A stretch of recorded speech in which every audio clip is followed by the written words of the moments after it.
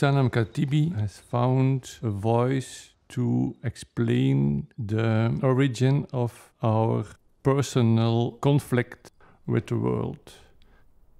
She makes things that are forbidden in the real world possible in her imagination.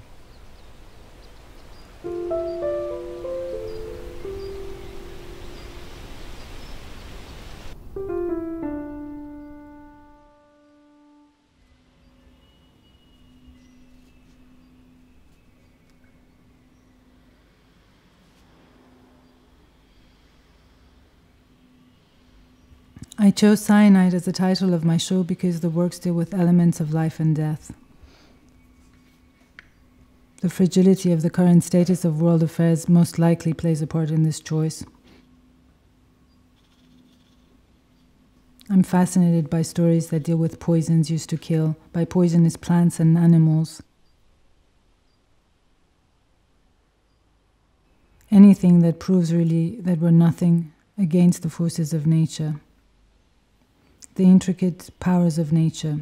It's a short word that immediately triggers our imagination with fascination. It captivates our attention and triggers our senses.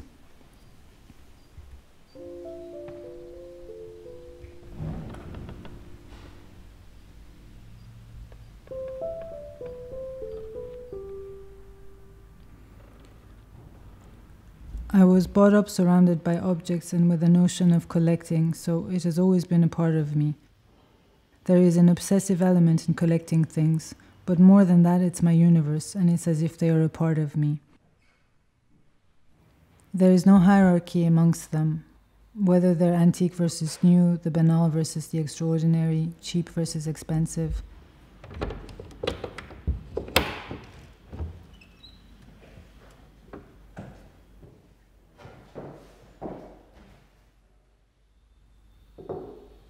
They symbolize energies within us. There is a spirit in history that remains in artifacts throughout time. They're like cell memories of a recorded time. And by placing them in a certain order, it's as if they become a language on their own.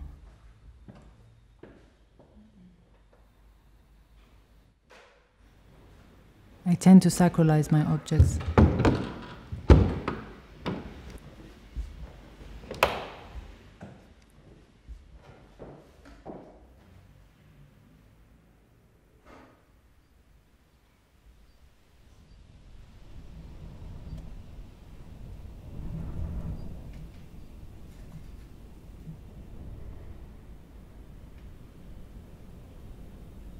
I paint in an unconscious state.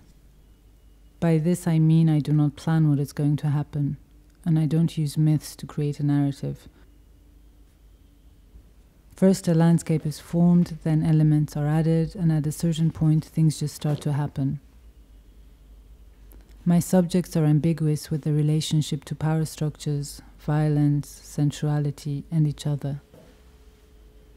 There is no morality. I like the work to be open. I don't wish to offer an answer on a possible narration.